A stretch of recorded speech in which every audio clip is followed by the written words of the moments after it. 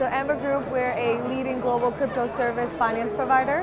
So we help our clients both on the institutional and retail side trade, manage and access crypto in many ways.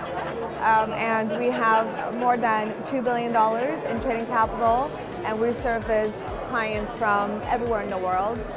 Um, and now our future plan is really to, to grow beyond uh, Asia, North America, and Europe, where we have established a presence but more so coming into the Middle East, for example, or a lot of the other emerging markets are super active in crypto, including LATAM, Russia, or um, Turkey, of, the likes, um, and really grow a global presence.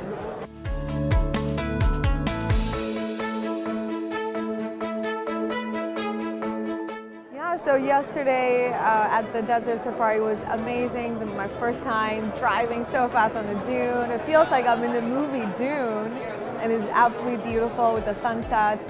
Uh, contrast to Dubai, the city with all the you know, high rises and the crazy skyline. So it was great to get a mix of both.